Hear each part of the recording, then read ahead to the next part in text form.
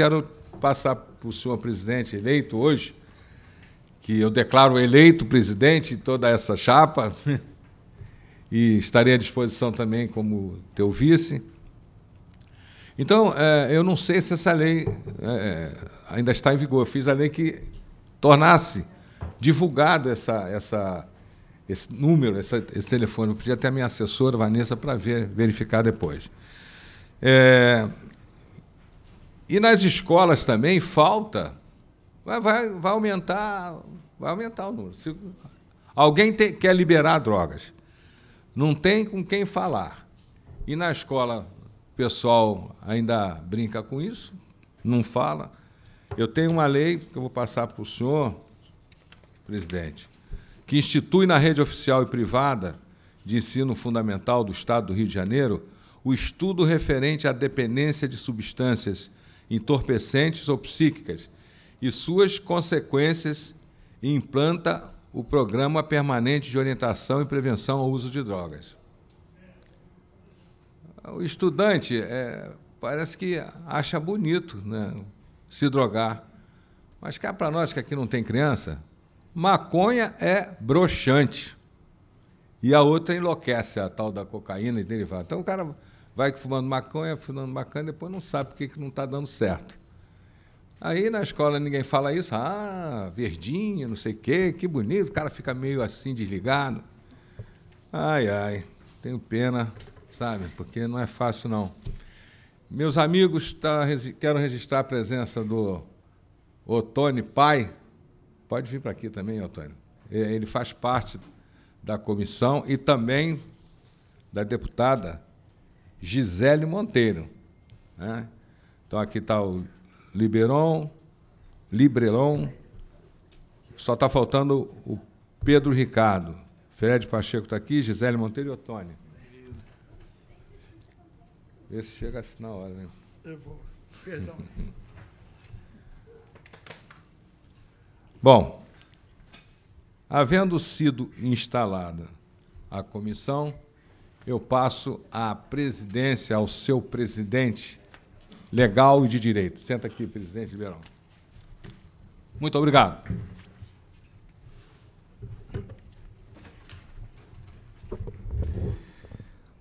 Obrigado, deputado Samuel Malafaia, nosso vice-presidente dessa comissão tão importante nesta casa, como também para o nosso Estado. Boa tarde a todos que se fazem presente, que nos assistem pela TV Alerj a todos os deputados que são membros e suplentes também desta comissão, Fred Pacheco, que está aqui ao nosso lado, que tem seu trabalho árduo em cima desse trabalho, já não de hoje.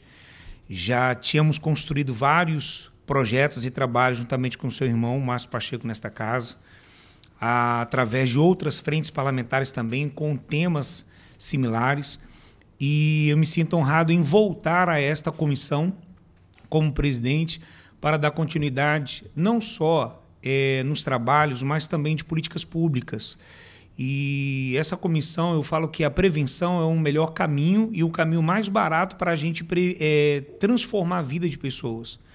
E pouco se fala é, a gente fala muito combater, combater, e muitas das vezes o combate não chega lá na ponta de forma que venha ressocializar quem assim precisa e dar assistência a quem necessita, que muitas das vezes é o familiares que precisa desse apoio. A Gisele Monteiro, que está aqui, a nossa companheira também, que chegou agora nesta comissão, seja bem-vinda. É, agradeço a sua presença nessa comissão como membro. Vou contar com vocês para que possamos, através é, do trabalho em quatro mãos ajudar com que a casa venha trazer voz a essas pessoas, tanto as pessoas que têm o desejo de sair é, dessas substâncias e também auxiliar os familiares que necessitam com o apoio do poder público e desta comissão.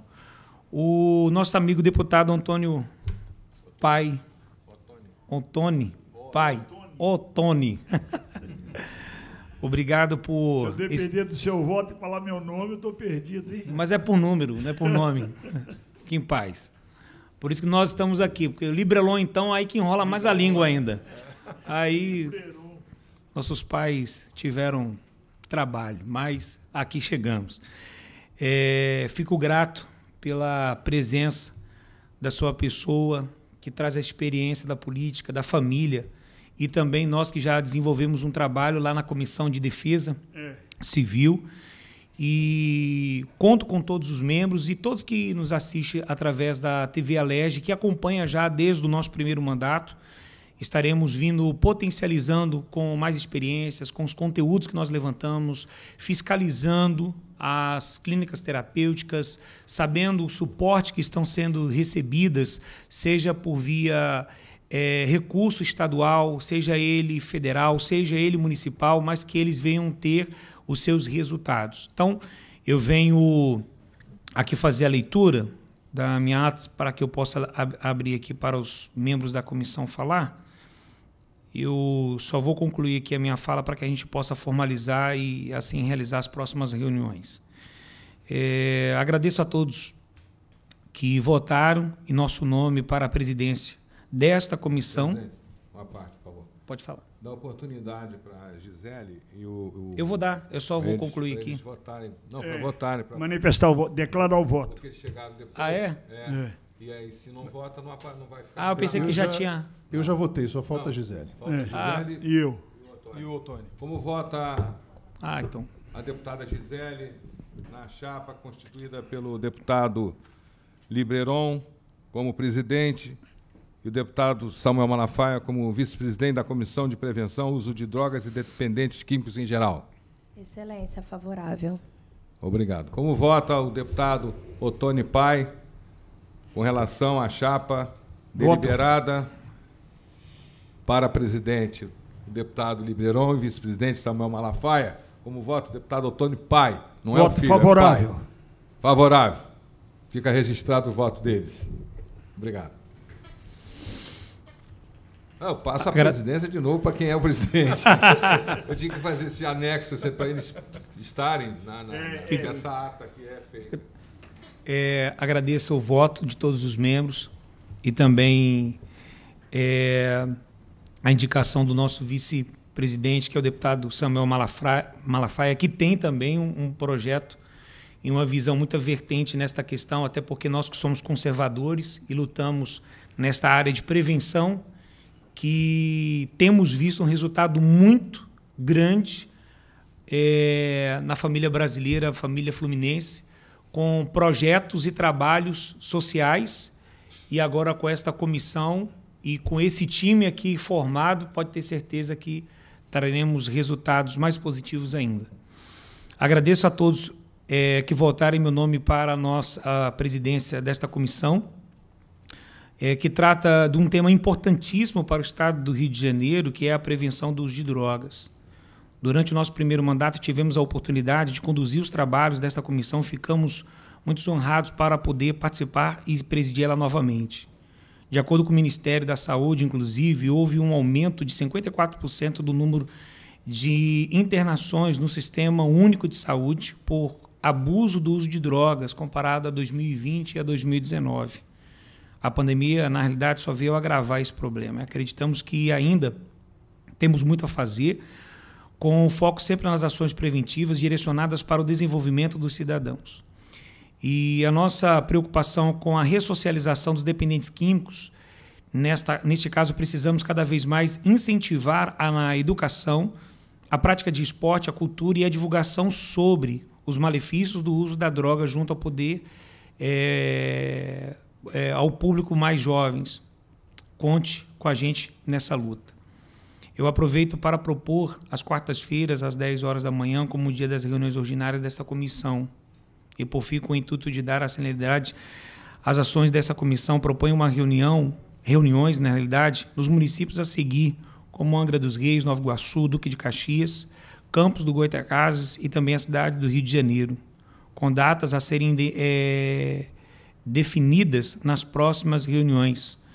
E diante, eu até Vou abrir a palavra para os, os, deputados e também, caso queira deliberar alguma coisa para nossas próximas reuniões, eu justifico essas cidades porque, diante dos levantamentos que nós assim fizemos da nossa comissão do pleito anterior, nós tivemos um índice muito alto dessas cidades.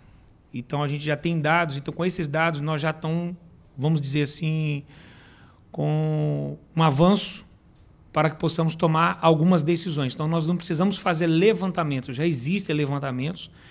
Então, eu peço para que a gente possa realizar essas reuniões nessas cidades. A gente vai definir é, num grupo de trabalho interno aqui com os deputados para que a gente possa deliberar nas próximas reuniões uma data nestas cidades. É, e aí, é, antes de passar a palavra para os deputados, eu queria fazer a votação da, da deliberação é, dessa reunião nas quartas-feiras, 10 horas da manhã, como também a visitação nessas cidades. E eu queria ver com o deputado, nosso vice-presidente, deputado Samuel Malafaia, como que ele vota. Favorável.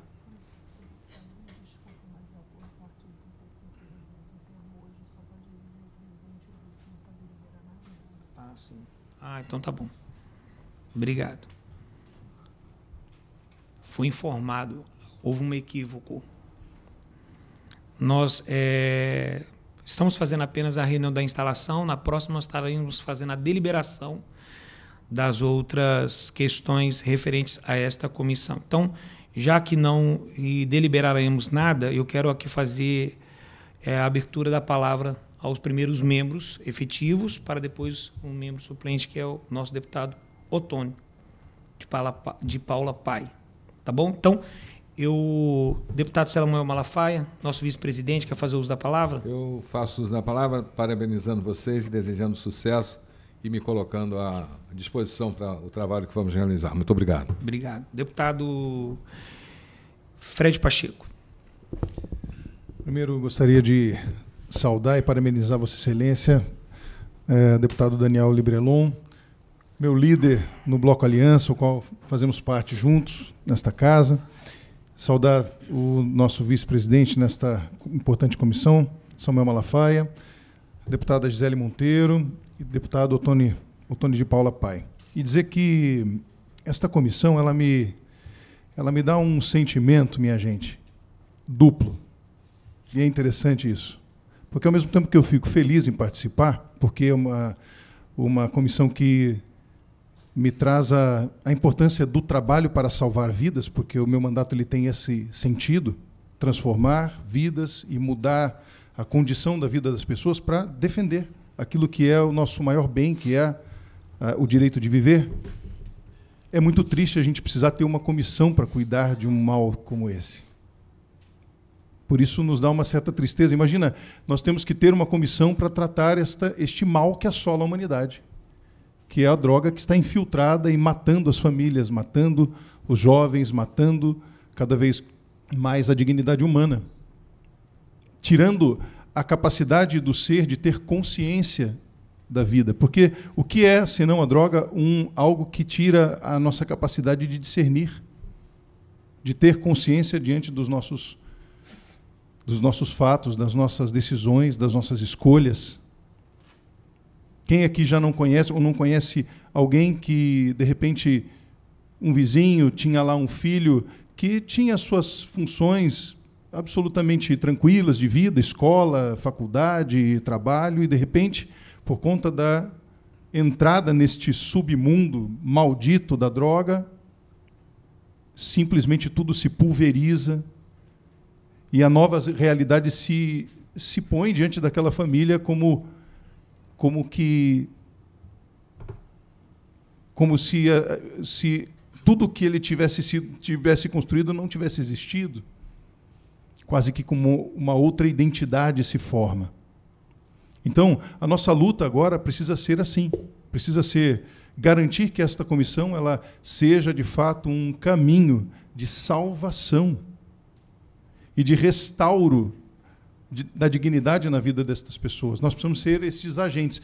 E aí, bem disse o excelentíssimo deputado Daniel Librelon, criar políticas públicas e incentivar as que já existem, fiscalizar as que, as que existem, para que de fato nós tenhamos políticas de prevenção, porque depois tratar é muito mais difícil do que prevenir. E nós só podemos fazer isso com educação, com formação, com informação de qualidade. Não adianta você jogar é, palavras ao vento, precisa saber como fazer, no local certo, para as pessoas corretas, enfim, envolvimento. Por isso, o Daniel disse de maneira clara, essa era uma bandeira muito cara para o meu irmão Márcio Pacheco, que foi deputado nessa casa durante três mandatos. E para mim era uma obrigação, porque nós fazemos isso na nossa vida. Como eu disse, trabalhamos com esta necessidade de salvar vidas, por isso, para mim, era imediato fazer parte desta, desta comissão. E mais, protocolei já é, uma comissão, uma frente parlamentar que já existia, e depois é, que o Daniel fazia parte, inclusive, era vice-presidente da frente, junto Sim. com o Márcio, né? Sim. E eu protocolei novamente para que nós tenhamos a frente parlamentar das comunidades terapêuticas, porque acreditamos que as comunidades terapêuticas são um braço forte para tratamento e para salvação destas vidas que cada vez mais se perdem. Ela é necessariamente a única? Claro que não, mas ela é mais um instrumento as comunidades terapêuticas da maneira certa, tendo o apoio correto, os profissionais devidos, tendo o cuidado que, que dela se exige, sem dúvida nenhuma, pode ser um grande caminho para o combate e também a prevenção ao uso das drogas. Então, mais uma vez, deputado Daniel, muito obrigado pela, por me dar esta chance de estar contigo nesta luta, porque é uma luta, não há dúvida nenhuma. Esta comissão ela é uma, uma comissão que luta, que precisa lutar para retirar estas pessoas e fazer com que outras não entrem neste mundo maldito. Então, conte comigo, também nosso vice-presidente Samuel Malafaia e os outros membros, para que tenhamos de fato este caminho, que é um caminho de transformação de vidas e de salvação, por que não dizer um caminho de salvação. Obrigado. Agradeço as palavras, deputado Fred Pacheco. Passo a palavra para Gisele Monteiro.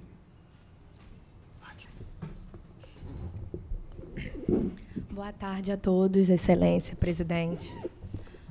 Estou muito feliz de estar aqui com vocês, fazendo parte. Gostaria de contribuir apenas com uma coisinha que eu ainda não ouvi. É, como psicóloga, como mãe, enfim, como deputada, eu gostaria de trazer, de repente, à frente, juntar a nós o Conselho de Regional de Psicologia, o CRP. Uhum. Tirando isso, desejo a todos aí, por conta do nosso horário ao plenário, sucesso a nós, conte conosco. Ok, agradeço a deputada Gisele Monteiro. Passo a palavra para o nosso amigo deputado Antônio de Paula Pai. Eu quero, na oportunidade, parabenizar ao presidente Daniel Libleron, sempre com essa elegância. Só conheço o outro, Júlio Lopes, que pode ter essa elegância que você tem. Parabéns aos companheiros, amigos, por estarem fazendo parte dessa comissão. E a minha estada aqui foi por opção. Eu pedi que eu aqui estivesse, por entender que o assunto é pertinente ao que cremos, professamos, trabalhamos em prol. E eu vejo aqui na mesa, não é? A, a igreja cristã representada aqui, evangélicos, católicos, e é público e notório o trabalho que as entidades para-eclesiástica e a igreja em si fazem no trabalho de transformação desses jovens, dessas pessoas que se marginalizam, a palavra é essa, é? e muitas vezes incompreendidos também, no uso das drogas. Então, se a igreja e os, a, os movimentos para-eclesiásticos já fazem um trabalho nesse sentido, eu acho que aqui é o meu lugar, é o nosso lugar de estar para buscar a transformação, a mudança dessas pessoas, tentar resgatar essas pessoas para o convívio da sociedade, serem de alguma forma mais respeitadas, e eu prometo dar essa contribuição a essa comissão. Parabéns ao presidente e a todos nós que vamos regaçar as mangas e trabalhar em prol da, desse problema tão sério que aflige a nossa sociedade. Obrigado. Obrigado, deputado Antônio de Paula Pai. Obrigado a todos que se fazem presente mais uma vez pela TV Alerj, a todos os profissionais que nos permitem a instalação desta comissão. E a quarta-feira, às 10 horas da manhã, estaremos realizando essa reunião para deliberar assuntos que nós vamos discutir sobre é, o tema da prevenção e também é, receber as demandas dos nossos é, amigos deputados, membros desta comissão, nesta casa. Nada havendo mais a declarar, nada mais havendo falar nesta comissão, eu declaro assim ela encerrada. Obrigado.